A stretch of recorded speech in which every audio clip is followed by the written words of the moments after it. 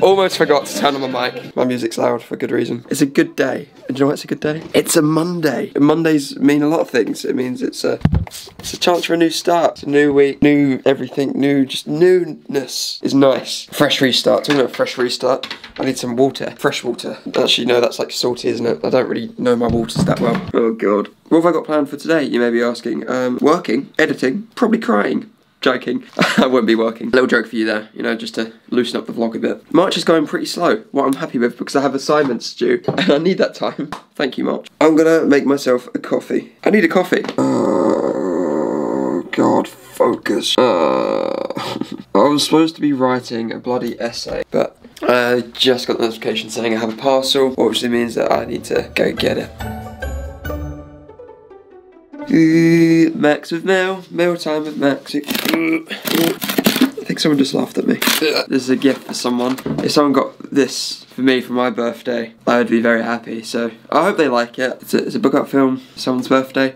I'm sure they're gonna love it. I'm looking forward to giving it to them. I have to wrap it tonight though, and I'm awful at wrapping, both with paper and verbally. Wrap. Oh crap. About to take a nap. Um, do the WAP. Rat, rap, oh, I've already used rap. Um, oh, I can't say that. Um, I'm currently absolutely loaded with work. Uh, exciting times ahead. As I have got quite a lot of work to do, I thought I would upload something that I, I can upload. Uh, this is the first bit of uni work I done. I'm probably going to do another one of these episodes, so ne the next vlog will probably be a bit like the same where I give an introduction to something I've, I've already made. So this is like a safety episode. This is a video essay made in first term about dancing in film. I love dancing, I love film, so I had to make a video essay about it. But yeah, dancing through film. So world famous Jack Rabbit Slim's Twist Contest. Dance is expression. Ever since prehistoric times, us as humans have danced, and we still do today. The silver screen isn't the only home for the art, but it certainly has a space in the history of cinema, and most notably, Hollywood.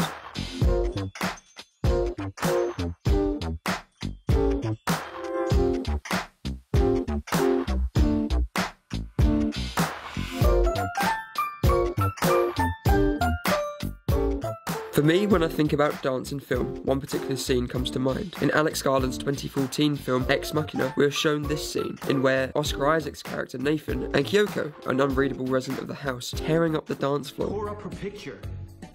I'm gonna tear up the fucking dance floor, dude. Check it out.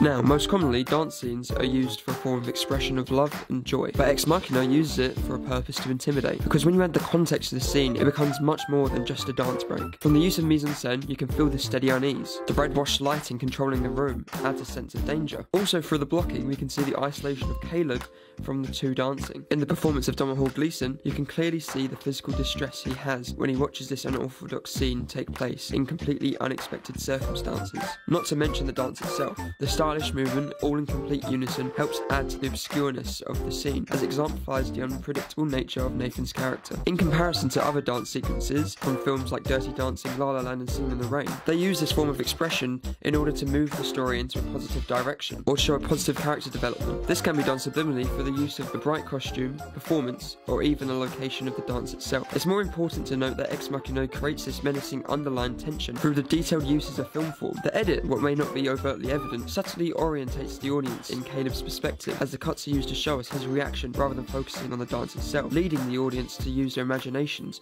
of what it could be. This scene subverts the audience expectations, and some would argue by doing this it creates a dark atmosphere more effectively than most modern day horror films. This scene transitions us into the third act, and helps build this gap between the characters of Caleb and Nathan, where before there was more similarities than differences. Yeah, I hope you enjoyed it. Um, it's definitely an interesting one, one that if I had probably had more time I could probably do it a lot better, and obviously we had to keep it under two minutes, so there was that problem as well. So, but I'm not really one for video essays. It's not really my style. You know me. I'm not the most intellectual person ever. Yeah, thank you for for watching it. Um, let me know your thoughts. I'll see you on Saturday's video. Goodbye. Where's my lens cap? Let's just bye.